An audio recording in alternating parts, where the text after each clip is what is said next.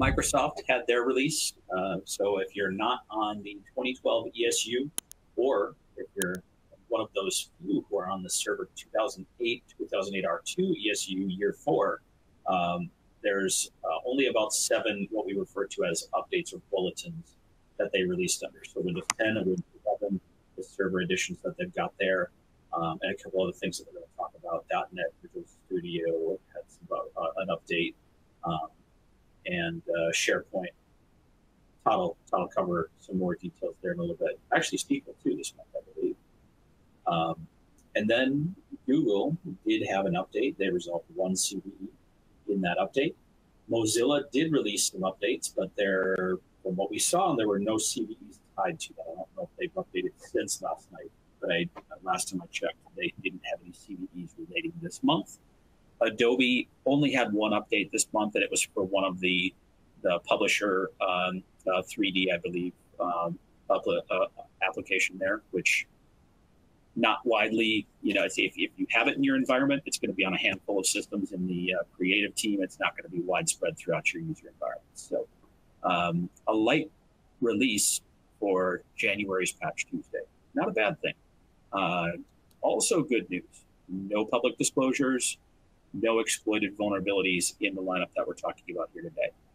There's a couple of other products we'll talk about that do have some some exploits in the wild going on but those are for more uh, platform and uh, you know network perimeter type solutions that um, are not in the category of easily patchable. Those are going to be things that typically require a little bit more hands-on. Like you're not going to go and uh, update your firewalls or routers or things like that with a simple patch. You've got specialized people who go and push updates to that and have to go through a body of tests with a team of people on a conference bridge for several hours that's the that we're going to talk about some of those things at times. But uh, sorry, looks like my microphone is occasionally getting muffled. Oh.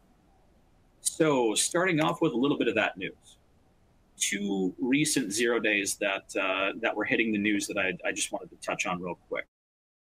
The first article that I wanted to bring up was there is an alert that went out um, around the Barracuda uh, there's a Chinese uh, threat group that are targeting uh, Barracuda's zero day flaw that's out there right now.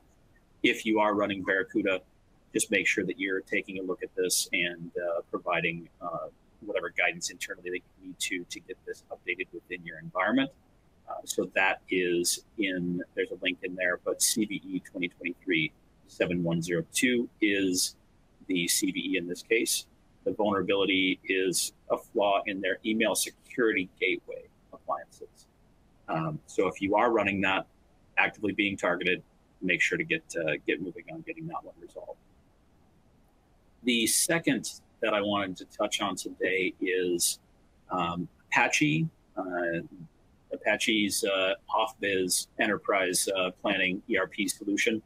Uh, this had a couple of vulnerabilities one that was patched last year, CVE 2023-49070, did not fully fix the issues that they received. So SonicWall has been monitoring continued um, attacks against the uh, Apache OFBiz uh, framework. There is an additional CVE now that's been identified. So when when Apache went in and resolved this issue, they basically they didn't resolve everything in that depth. Um, they resolved um, the entry point that they thought was kind of the main threat there. Um, but these uh, threat actors found a way around the first fix and were still able to attack the, the kind of the root flaw in this uh, situation. So that's CVE 2023 51467. Um, so if you did have that uh, uh, vulnerability, the 2023 49070, and you push the update for that, be aware there is a second vulnerability. It's actively being targeted. Um, I believe one of my two articles actually had, yeah, this is the one. So this is the traffic that they were seeing. So um, targeting this new vulnerability, this is the number of attempts um, successful or, or, or failed in, what, in, in those cases, but the number of attempts they've seen to exploit that specific vulnerability. And it has been spiking as they, they approach the end of the year and into this year. So definitely something that's actively being targeted.